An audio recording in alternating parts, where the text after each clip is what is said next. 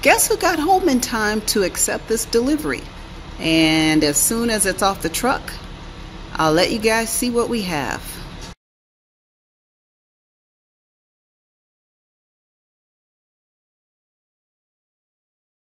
Art said he thinks a case is missing from the first pallet.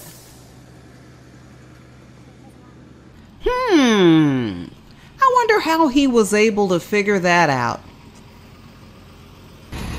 I don't understand. on the side doesn't show the amount of Yeah, it says right here, 44 cases.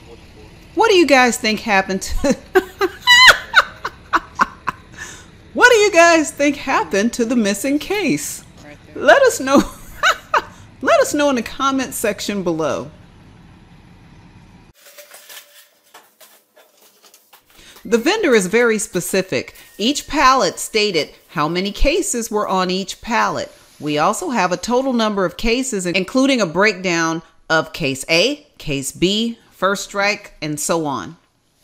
Just to make sure, Art decided to offload this pallet while the driver was still here. He counted each case. As you can see, this was a rough shipment. We've not had this much damage on any shipments. Well, we are still missing one. Okay, after we took all the rations off the pallet, this is what we've got.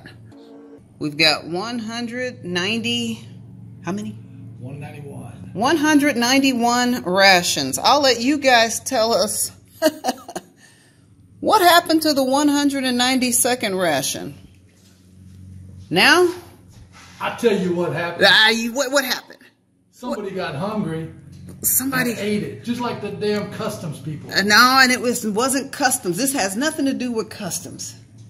and as always, you can get drama and your fresh discounted rations at foreignmre.com. Where?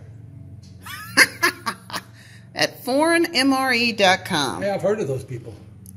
Yeah, heard they have great customer service. yeah, and the, the lady's pretty nice, but the Oh, guy, I don't know. The lady was mean. What? Just the opposite.